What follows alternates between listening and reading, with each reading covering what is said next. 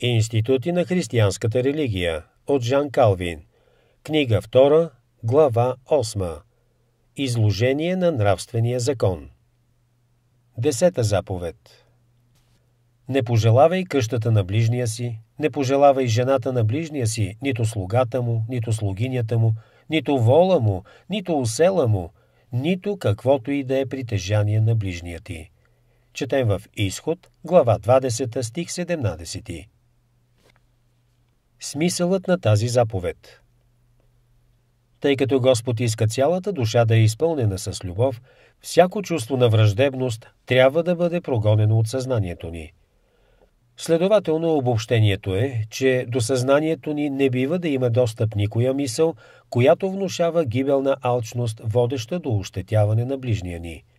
На това съответства заповедта с противоположен смисъл – че всичко, което замисляме, възнамеряваме, желаем или планираме, трябва да бъде за доброто и успеха на нашия ближен. Но тук явно срещаме една голяма и смущаваща трудност, защото, както основателно посочихме, когато се говори за прелюбодейство или кражба, се забраняват похотта и склонността да нараняваме имами им. Тогава може да изглежда излишно след това да се дава отделна заповед, в която се забранява лъмтежът към собствеността на ближния. Но това затруднение ще бъде лесно преодоляно, като направим разграничение между замисъл и пожелание. Замисълът, както казахме при предишните заповеди, е съзнателно намерение на волята, след като страстта вече е завладяла ума.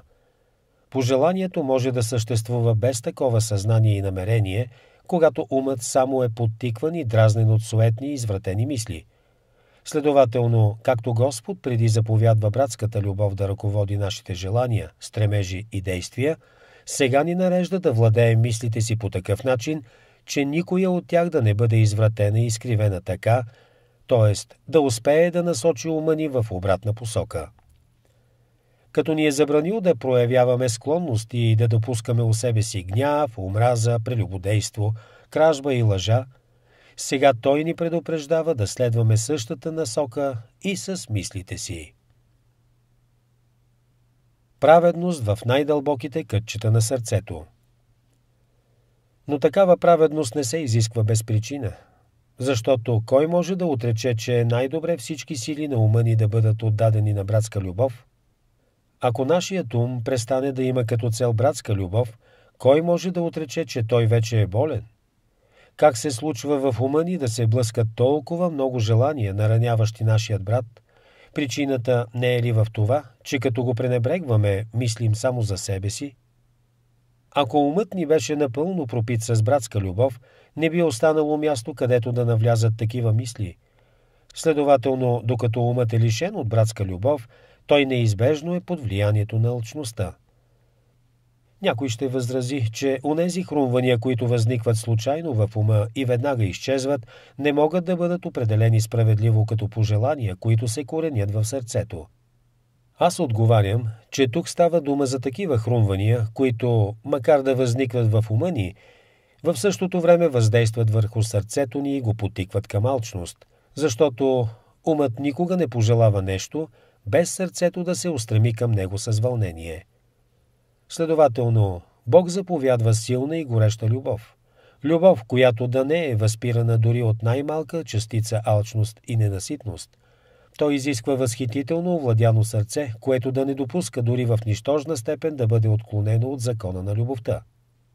За да не помислите, че този възглед не е подкрепен от никой сериозен авторитет, мога да кажа, че за първи път ми го подсказа блажения Августин – и макар намерението на Бога да е да забрани всякакво извратено желание, тук, чрез примери, той ни сочи обектите, които по принцип се смятат за най-привлекателни. Така не оставя място за никаква алчност, чрез забраната на онези неща, на които хората най-вече се отдават и за които най-често лъмтят. И така, това е втората плоча на закона, която ни учи достатъчно недвусмислено на задълженията ни към хората заради Бога, върху чието естество е основана цялата система на любовта. Ето защо би било безсмислено да изискваме изпълнение на различните задължения, дадени в тази плоча, без да обосноваваме напъствията си върху страха и почитанието към Бога. Не е нужно да казвам на разсъдливия читател, че онези, които възприемат като две заповеди забраната за пожеланието, произволно разделят едно нещо на две. Повторението на думите «не пожелавай» не носи никакъв особен смисъл. Първо е спомената къщата, т.е. думът, а след това са изброени различните му елементи, като се започне с жената. От тук става ясно, че цялото трябва да се разглежда последователно, както са постъпвали евреите. И така, обобщението на цялата заповед е, че притежанията на всеки човек трябва да останат непокътнати и незастрашени не само от щети или от желание да им се навреди, но и от най-слабата форма на ламтеж, която може да възникне в ума.